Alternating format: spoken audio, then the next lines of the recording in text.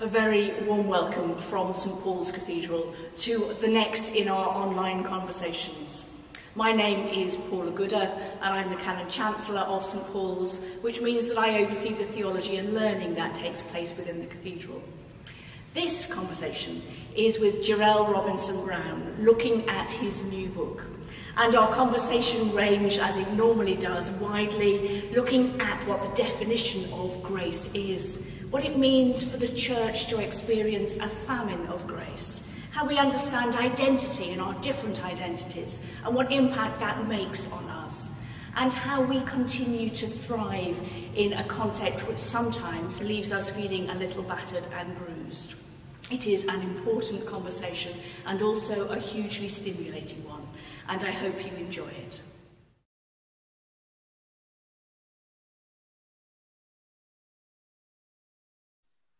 Jarel, it's lovely to have you with us today. Thank you for joining us to talk to us about the subject of your new book. Thank Underpinning you. the book is the theory of grace, um, and that, that wonderful word, which is so important. Um, but I don't know about other people, but I find that word grace is actually really quite hard. I use it a lot and it means a lot to me theologically, but I always have that slight sense I haven't quite understood exactly what it means. So I'm wondering if you'd like to talk to us a little bit about what the word means to you and why it's so important in your new book. Well, I think that's definitely true, um, Paula, and it's really good to be able to share um, in conversation with you. I think one of the things is we all think we know what we mean or what the other means when we speak about grace. And for me, one of the reasons I wanted to focus on it was to kind of unpack uh, one particular way of looking at it from my own perspective. Um, so one way I would describe grace is wounded love for a wounded world. That's the love of God um, for the world that God has created. I also really love how Father Peter Groves um, talks about it, and he's the vicar of St. Mary Magdalene in Oxford, and he wrote a book called Grace, and he says that grace is the cruciform love of God, meaning that grace is the love of God in the shape of the cross. And so for me, um, I, I, quote him in my book using um, those words because I find that sums up what grace for me um, is. It's the love of God in the shape of the cross, in the shape of Christ. Um, so not, not just a theory, but an embodied thing, which we see most fully in the person of Jesus yeah, I mean that that's really powerful, isn't? I love the idea of the the cruciform um, love of God. It's kind of really powerful. And so, of course, then you go on in the book to talk about how there is a famine of grace. Mm. Um, do you want to tell us a little bit more about what why you chose that? I mean, it's a very very evocative phrase, um, and I've been it's one of those um, you know you can just pull out the phrase itself and chew on it. Um, and what was in your mind when you were talking about there being a famine of grace in the church? I think for me there was this sense in which you know the the famine of grace for me would be anywhere where that love, where that that cruciform love is not found. Um, and of course, the thing about famines is that they don't just kind of happen as a phenomenon. They they are caused because of how we treat the earth, um, and because of how resources are used um, in a in a way which is not fair or just or equal. And for me, there's the same thing about grace. That actually, the famine of grace is in the places where grace for all isn't preached or practiced, where inclusion, equality, love, welcome um, are not offered, where hospitality is limited to people who are just like us. Um, and of course, the thing about famine is that people die because of famine. And I, I know that from a famine of grace, um, LGBTQ plus people um, do die because of the exclusion and marginal, marginalization and oppression that we experience um, within Christian community. So it was powerful language that I thought really got to the heart of what I think is happening um, for many of us who seek to belong or, or are belonging within Christian community as those who are of faith and also LGBT plus. Thank you. Very, very powerful. And um, the thing that I was kind of reflecting on while I was reading your book is um, we all believe in grace, as I've said, you know, it's, it's one of those words that is kind of, um, as Christians, it's right there at the forefront of who we are and what we believe. Um, why do we so easily slip into um, there being a famine of grace? It feels to me as though there's a, a mild contradiction internally, isn't there? That on the one hand, we absolutely believe in it, and on the other hand, we really struggle to show it. And I wonder if you've got any reflections on where that comes from and why we wrestle with it so much. I think part of it is that because we think we we know what we mean by it, we don't think about it enough. So actually, we just assume that there's this common understanding of grace, and because we speak about it so much and sing about it so much, um, it must just be functioning everywhere. And I also think that people like St. Augustine, for example, theologian um, from the fourth and fifth centuries, you know, his, his own work on grace, which talks about grace being something which is so much connected to the will, so how we how we choose to live and what we do with our lives and our bodies, um, also makes grace quite a complicated thing when we begin to talk about grace in relation to those who are marginal um, voices within the life of the church.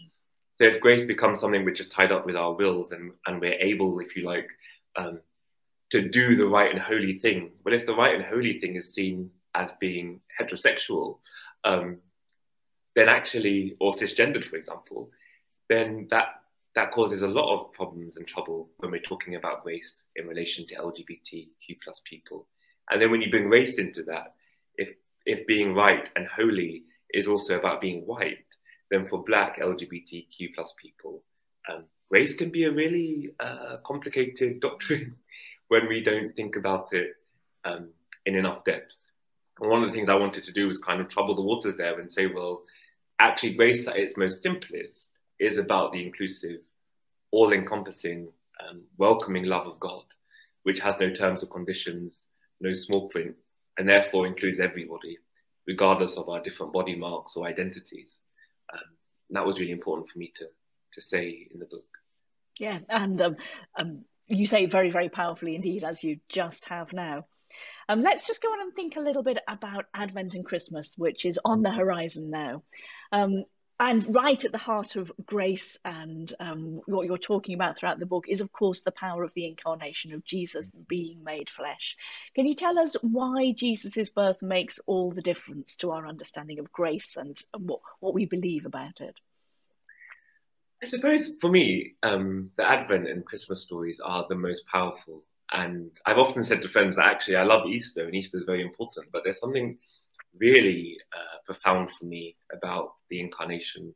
And I think it's because it's God um, at God's most recognizable um, to us, mm-hmm. that actually God um, reveals God's self as one of us in the incarnation. And that's deeply powerful. There's something for me about the vulnerability um, of God choosing to take up space in a, in a dirty, uh, stable, um, coming as vulnerable flesh, as a child, as a baby, uh, with no place to be born in which is secure or safe or clean and warm.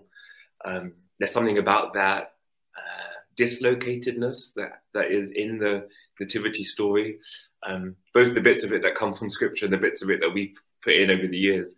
Um, there's something quite powerful about that.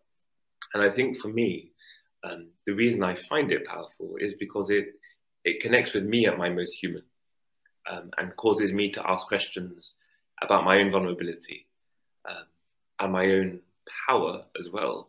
Um, you know, who am I in the story? Mm-hmm. Am I the innkeeper um, who says, you know, no room at the inn? Am I the one who offers hospitality? You know, am I Joseph? Am I Mary? Am I Jesus? Am I the donkey? You know, who, who am I in the story? Um, and at different times, you know, each year, I might be somewhere different. But there's something so real, viscerally, about the story of the incarnation that I think causes me to ask really deep questions that I might otherwise avoid. And so that's why it's, it's such a powerful mm. part of our theology. Yeah. I love that idea of um, taking up different characters um, in the nativity story. You know, um, we all of us have our childhood memories, don't we, of um, what what you got to play in the nativity mm-hmm. story. I never got a good part. I still haven't got over it. and uh, every Christmas, in a way, it kind of comes back to me. Of um, um, and so I, I always felt like I was the bit part on the outside. In fact, I remember my eldest daughter when they did their nativity play, um, she came home utterly gutted because, of course, she'd hoped for Mary, which is frankly the only good girl's part in the nativity, and she got the third king's third helper. Wow! Um, and she was utterly devastated. I can imagine. but there is something in that, I think, isn't there, about kind of being the outsider mm. and being the outsider watching God becoming the outsider in his birth.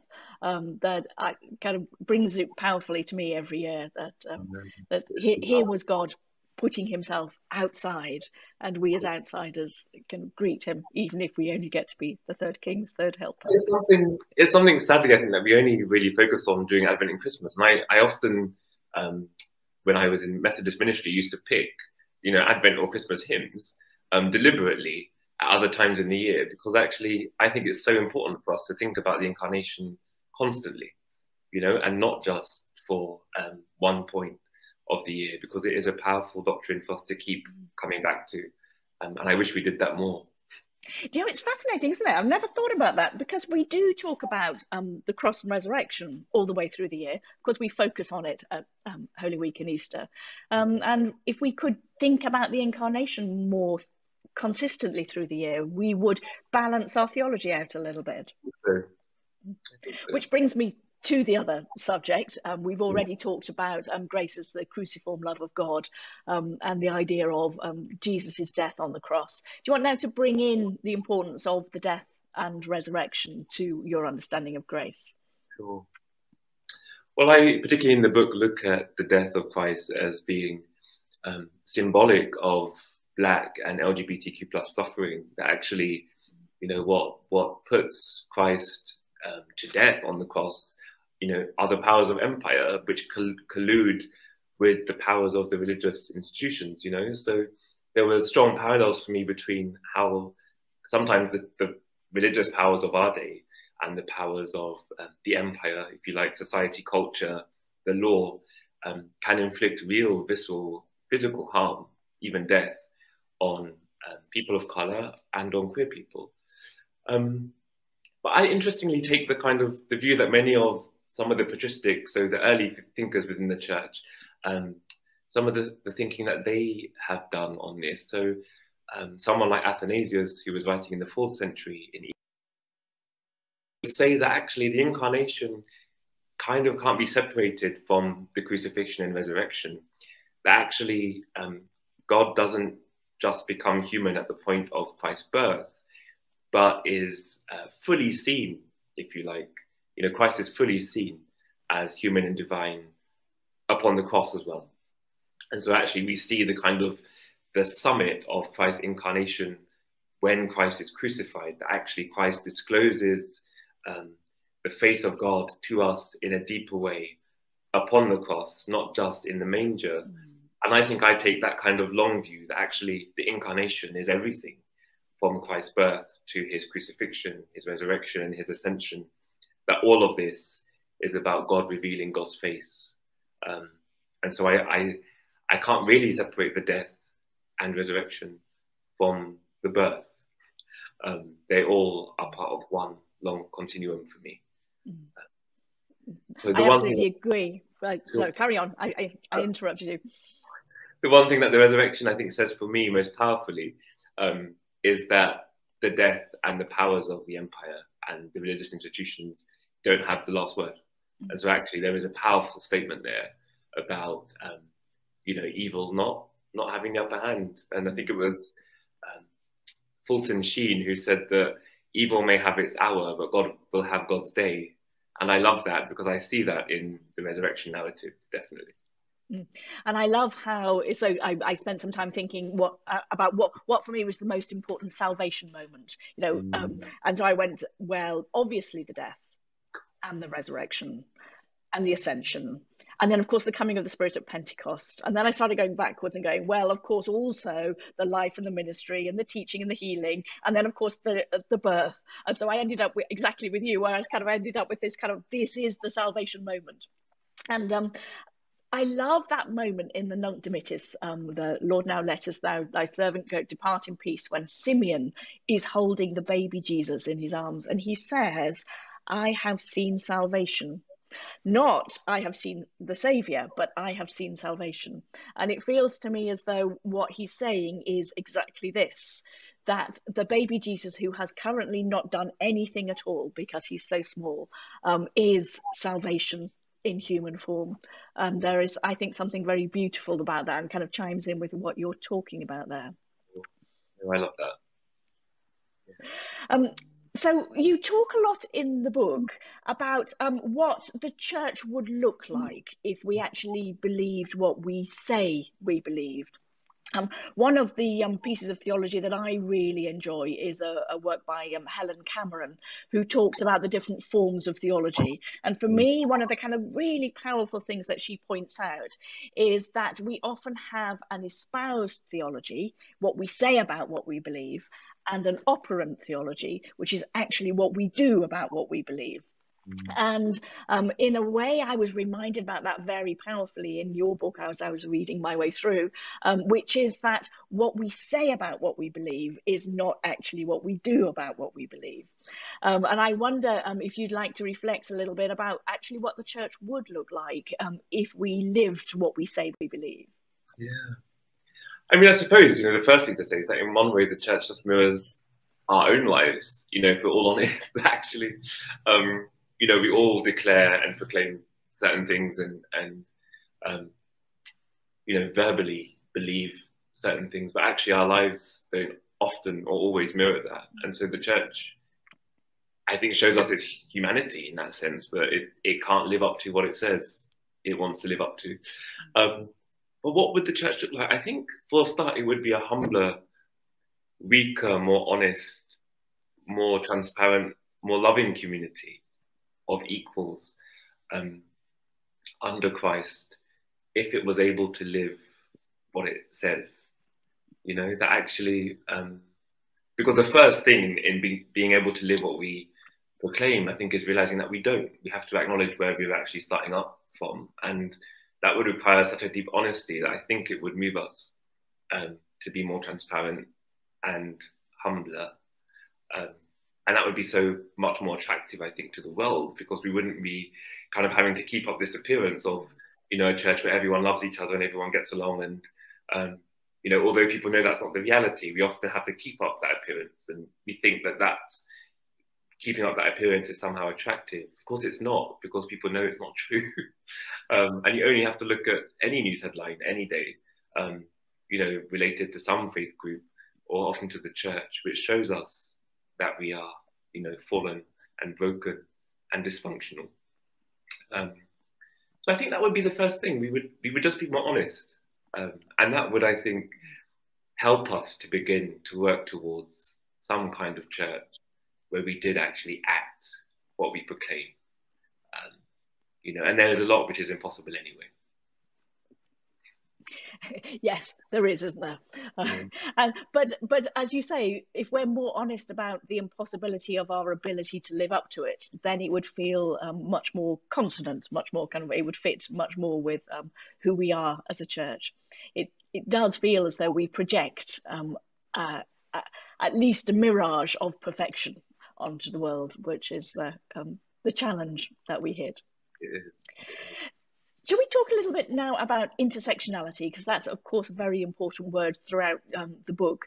Um, and you hear it um, talked about in various different ways. Can you tell us what the word means for people who aren't enormously familiar with the word intersectionality? Uh, well, it was a word invented, first used by Professor Kimberlé Crenshaw, an African American scholar, um, in 1989. And it basically looks at how aspects of our identities combine to create um, kind of different modes of discrimination and privilege um, and or privilege. So in my own experience, um, you know, I talk about on the on the front cover of the book, um, you know, black, British, Christian, um, gay, queer, um, all of those different layers of my identity, which kind of can combine together to show the ways in which I'm discriminated in a particular way. So we could look at blackness and sexuality, for example, which in my case would be two areas in which um, I experience discrimination. But of course, equally, um, to be to be male um, and cisgendered is a way in which I can experience privilege and power. So those two things going together go to, to show that nothing is actually that simple, um, that our identities can combine in ways um, which mean that I can both benefit um, for my identities and also be impacted negatively by them. Thank you. That's really, really helpful. So, thinking about your own experience of intersectionality, how does your queer identity and your Black identity affect your vision of justice? In many ways. I think one of the things I found is that as someone who's Black, um, I'm often, you know, made to to feel as though I don't fit in with um, a world which is made on the whole for white people. And even within black spaces, um, I become very aware quite quickly that many of the black spaces I inhabit are made for heterosexual people. Um, so there are times when within the black community um, or within black spaces, I'm made to feel like an outsider um, because of my queer identity. Um, but equally in queer spaces, because of my Christian identity, I can be made to feel like an outsider there as well.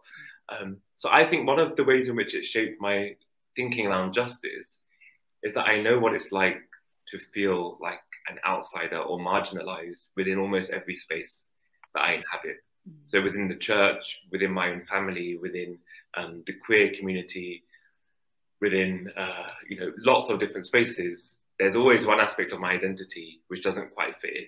And so I'm often thinking about who's not in the room, who's not around the table, um, whose voices are being silenced, because I'm always sensitive um, to aspects of my identity which are not made to feel at home.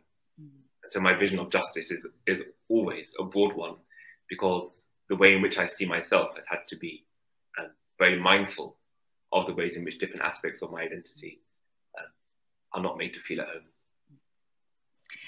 what does it feel like to you to to say that? You know i am an outsider in most of the context in which i find myself because i am an outsider in some of the contexts in which i find myself um, obviously not in some in others. Um, but i am regularly um, the only layperson among clergy. Um, when i um, i grew up in a council estate in manchester so i was the only um, comprehensive school educated person in many of the people i knew. So i kind of learned how to be an outsider at quite an early age, to the extent that I now often feel really uncomfortable when I'm not an outsider. Um, I, I, kind of I, I, only know how to be an outsider, and then it becomes really clear that I'm not an outsider, and I'm not quite sure what to do with that. Um, is that anything you do you ever have that experience, or is that just weird and me? Um, I don't have it often. I think I, I I am very deeply conscious of when I'm in black queer spaces because it's so infrequent and that's something that I, I experience very rarely. You know, when I'm in a space um, with other people who are um, either black or people of color and LGBTQ plus. But I don't. Do I find it weird? I don't think I find it weird. I find it deeply comforting. But it's so it's so rare. I think for me, um, and I think I'm aware also of how how few you know inclusive spaces are actually inclusive of Black LGBTQ plus people. Um, so I, I, see the kind of smoke and mirrors mm-hmm. behind even you know spaces that seek or appear to be inclusive. And I think you know you're asking me about how I how I feel when I express that sense of not feeling at home in many spaces. There's a sadness, I think, um, but it's also that feeling of exile, which I think I I see also in so many other people who are black and LGBTQ plus, which was part of the motivation also for writing the book.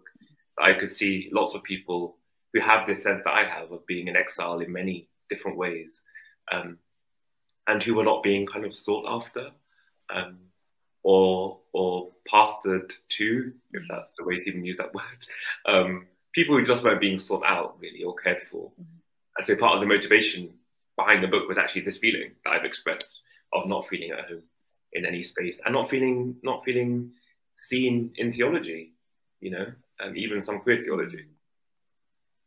Yeah, that, I find that really powerful. I'm thinking of exile in terms of biblical language and uh, how exile is so often expressed by a lost identity, a past identity. You know, thinking Psalm 137, by the waters of Babylon, we sat down and wept. How can we sing our songs um, in a strange land?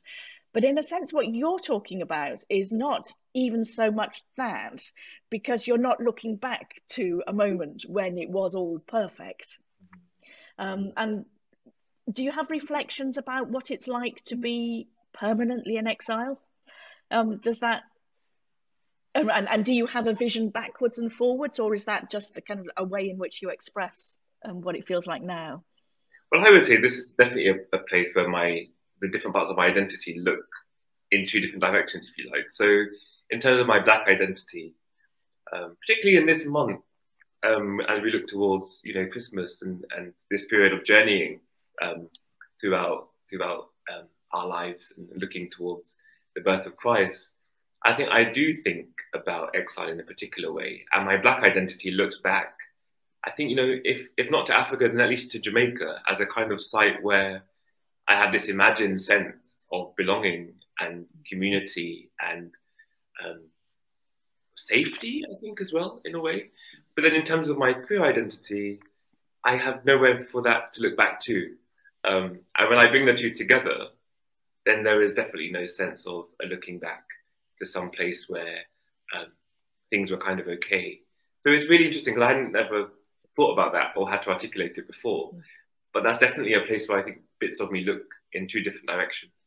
Um, and I think a lot of people in the African diaspora, as we call it, um, you know, who are throughout the world um, and who look back to Africa as a home, feel this sense of um, dislocation, of exile, of a longing and a yearning for time and a place where black people hadn't suffered harm, um, or at least not the harm of enslavement, you know, um, and that's an interesting reflection for me because I had never, it's live right now, I had never thought of it before.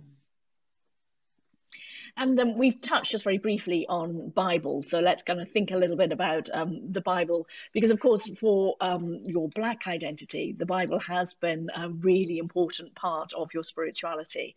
Um, and you talk in the book about your relationship with the Bible. Um, how would you characterize it now? And for people who themselves struggle with the Bible, do you have anything that you would want to say to them? Well, I should say, I think my, my relationship to it is is still a live one and a, and a, a, a relationship that does bring me joy. And I'm still intrigued by scripture and I still love engaging script, with scripture and I love preaching uh, from scripture. So, you know, I'm really lucky, though, I have to say, and, and you know, this is another thing where privilege comes into it, that I I have the privilege as someone who is black and LGBT plus of having um, studied the biblical language and having you know been taught scripture um, for three years in Cambridge. So I, I, have that benefit, which a lot of people who are black and queer haven't had. Um, and so, of course, I can engage with scripture in a critical way, um, which not many people can can say they also um, have the, the ability and benefit and privilege um, of having. But I also wrestle with it still, you know, um, if you like, the clobber passages of scripture still um, trouble me, even though they don't trouble me on a kind of deep level in a way in which they once did. Um, but I, I still lay claim to scripture as being, you know, my text. It's it's a text which relates to me in my life and which speaks to me. Um, and I still open scripture expecting to hear God speak. Um, and that for me is very important. So my relationship with it has, I would say, matured rather than changed or been completely transformed. Um, maybe from one which was fairly infantile. You know, I read scripture um, not bold enough to challenge it.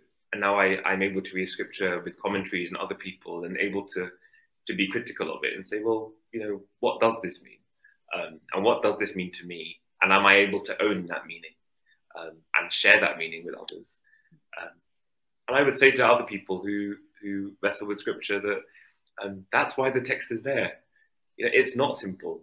Um, I'm sure you would agree that that it's it's you know it's nothing is as simple as we want it to be, and that's part of scholarship is that we we read something once, um, and there might be one meaning, and then we read it again, and there are layers of meaning, um, but nothing is as as simple as you might want it to be, and that's part of the excitement of it. Absolutely. Um, of course, I think that. Um, I would be out of a job if I didn't think that, I think. um, and I think for me, there's something really interesting about scripture. Um, that you're kind of um, alluding to in what you're talking about is that one of the things that bemuses me is people don't think we're allowed to have a conversation with scripture. Um, that you know, it's almost as though the scripture is the monologue, and we've either got to take it all or leave it all. Um, there's no kind of no um, point in the middle. Whereas where the scripture that I read has a whole load of different voices functioning in it, which don't say the same things and often disagree with each other, and for me, uh, my reading of scripture is an invitation into a conversation in which I agree with some things, I disagree with other things. I love some bits, I hate some other bits. Um, there's some bits that leave me cold, neither hot, you know, neither hot nor cold, just kind of kind of neutral. Um, yeah. And and it for me, it's a kind of a really exciting conversational journey. Mm. Um, but one of the things I think it's quite hard if you don't know scripture very well is how you engage with that when often it's presented as just a single monochrome. Um, if somebody is kind of kind of listening today and kind of scratching their heads about how they might get into this more conversational, um, reflective way of reading scripture, have you got any tips for people? Well, I think often it is a nice thing to read different translations, to not just read one translation. I would say, you know, buy buy a translation of the Bible you don't own um, already, and and see how that speaks to you. And I also find, um, I often I have the Bible, um, the audio Bible on my on my phone, and I do find it a very different experience to hear Scripture being read by someone else. Um, and it might be while I'm out walking, um, you know, walking the dog and just listening to David Suchet or someone reading the Bible. Um, and I find that actually changes how I hear it. Um, and I would also say read it in different places. Um, maybe read it imaginatively. So, you know, one of the things you might do with the gospel passage um, is read one of the stories um, that Jesus um, is, is either telling, so a parable, for example, or a story that has Jesus in the center of it, and ask ourselves, you know, who am I in this story?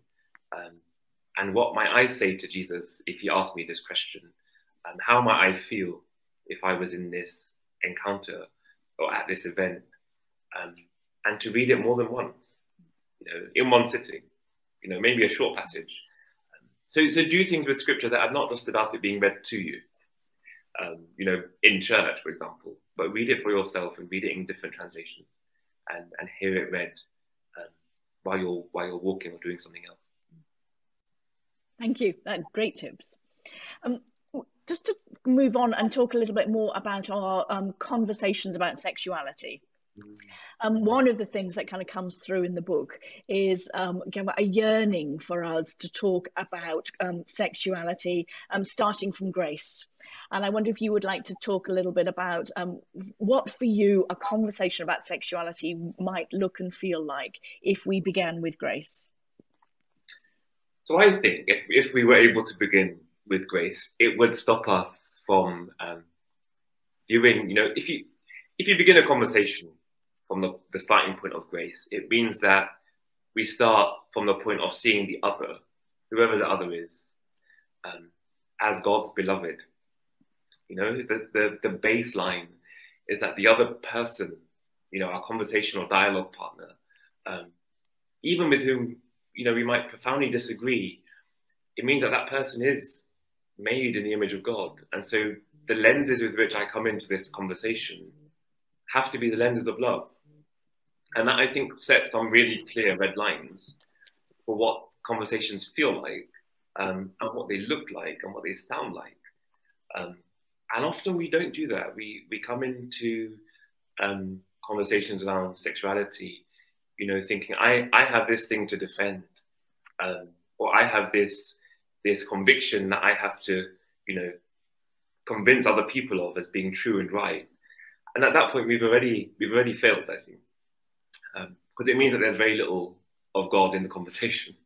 Um, you know, we have to come into a conversation um, willing to hear another person and to hear them as God's beloved speaking to us. And I think that's really important.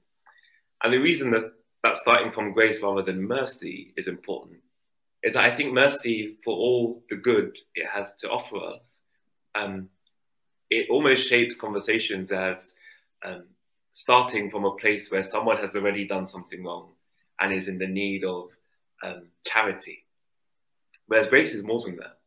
Grace is about me seeing you as someone of profound worth and value, um, and definitely as an equal. Um, which means that we sit and we listen to each other as if Christ was speaking um, to us through the other person. And so I think that would be that would be a really important starting point, and it, it means that we would be able to talk not just about sexuality and sex, but also about the body, which I think is such an important thing. Um, you know, what does it mean and feel like for you to be you and for me to be me in the bodies that we have? And you know, what what scares you? What fills you with joy? What are you afraid of? Because actually, if you can tell me what you're afraid of, I might discover that we're afraid of the same thing. You know, and at that point, we might get to a really deep place. We might think, oh, you know, you've experienced that pain. Gosh, I, I know what that's like. You know, to lose someone I love, or to go through that really tough experience. Um, and when we're able to talk about the flesh in a way which is not just to do with sex, I think we, we get to a much deeper place as Christian people. Um, and our obsession with just thinking about the body um, in terms of desire takes us, I think, to an often negative place. I absolutely agree. Um, if someone wanted to to be active about starting those kind of conversations, how would they do it? Because it, it feels, I mean, as you were talking, I was thinking, I'd love to have that conversation. Genuinely love to have that conversation with you and with lots of other people as well. But so often in life, we end up with those kind of incredibly superficial conversations, don't you? Where you go, How are you? I'm fine. Thank you very much. You know, on you go. Um, how, how do we become people who are better at that form of conversation? Well, I think the first thing to say is it's not easy, you know, and we, we mustn't pretend as though it is. I'd be lying if it is. I think it takes courage, and one of the one of the things that I think is most scary about what I would say I would want to propose to the church is that some of us have to take our masks off. You know, not the ones we're wearing at the moment because of the pandemic, but the mask that we wear so often. You know, someone has to have the courage to say, um, "This is what this is not what I think about this. This is what I feel about this. You know, um, which is really hard. And it might have to be those of us who lead churches, um, those of us who are up at the front often, um, those of us who are, if you like, often feel as though we're paid to wear the mask. Um, it might it might mean that some of us who are not good at doing the vulnerable thing might have to do it.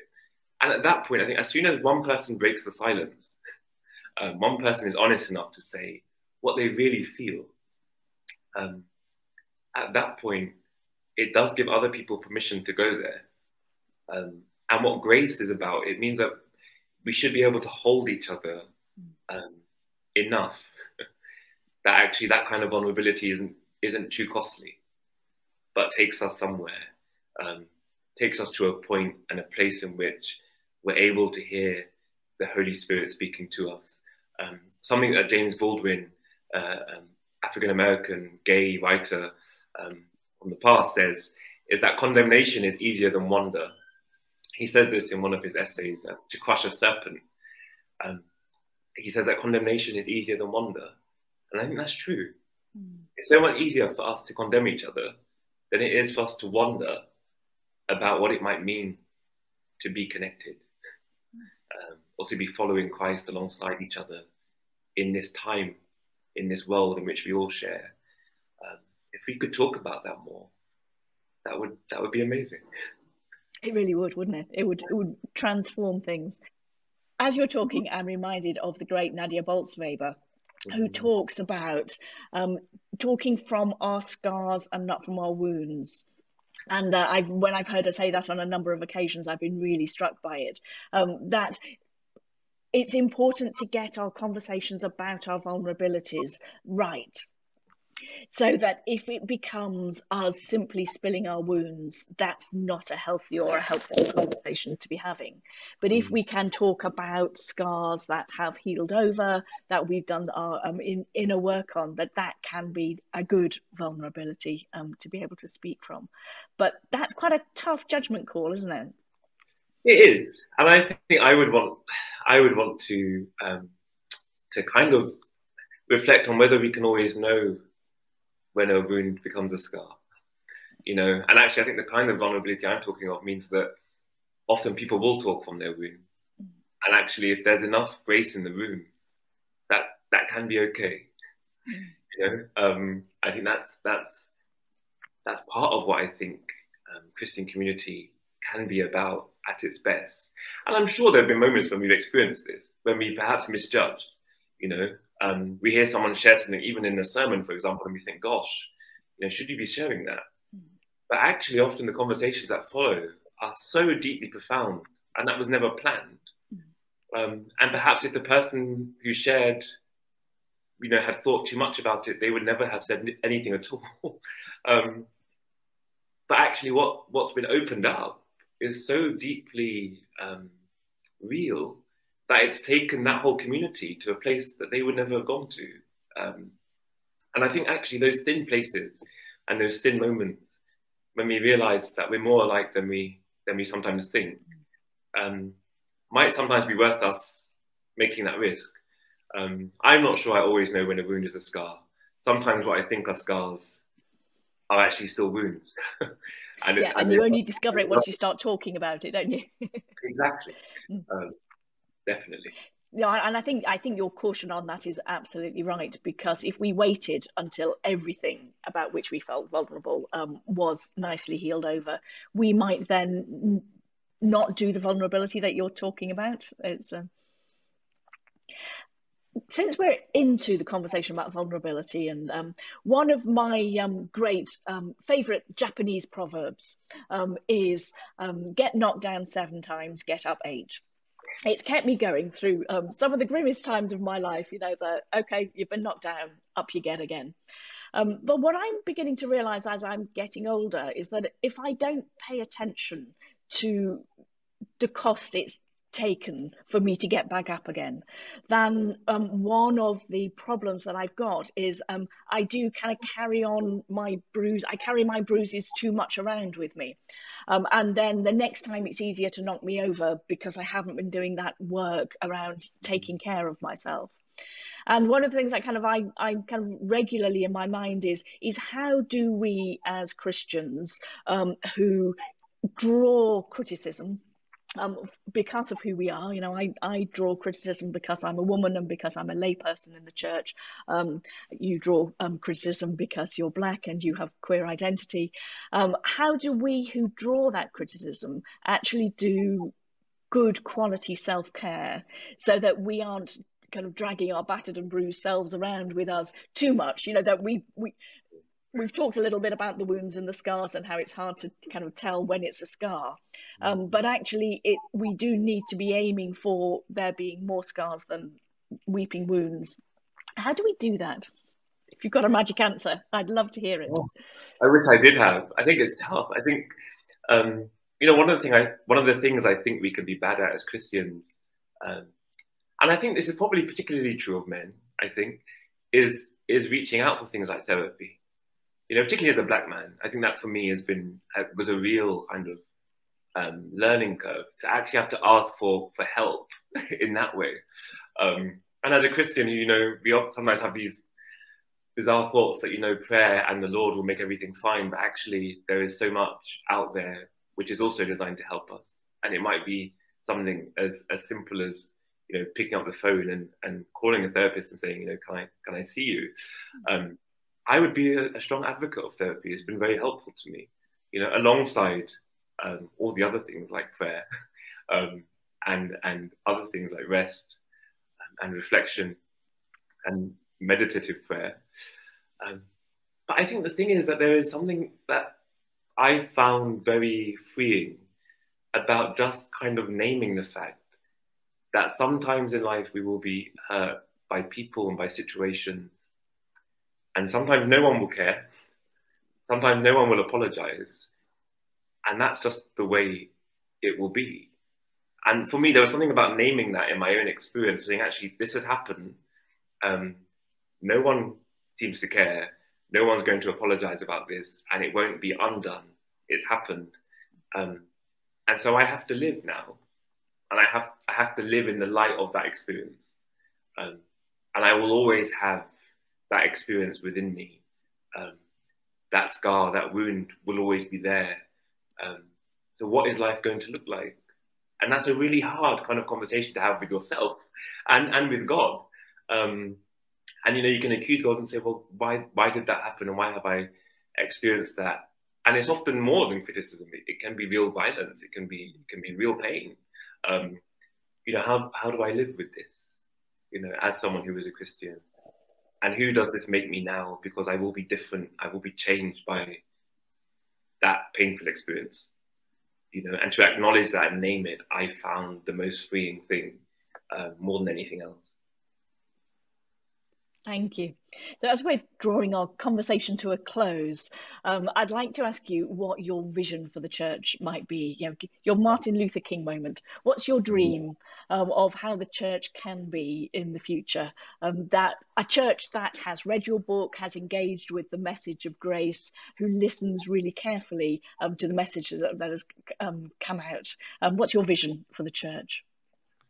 I think, well, it's a tough one. That is tough. I think for me, my vision for the church, um, you know, and I and I should start by saying that I think my vision for the church is of a church which is not even yet existing. I, I think the church is still to be born. It's, it's not. It's it doesn't almost exist um, as it ought to be.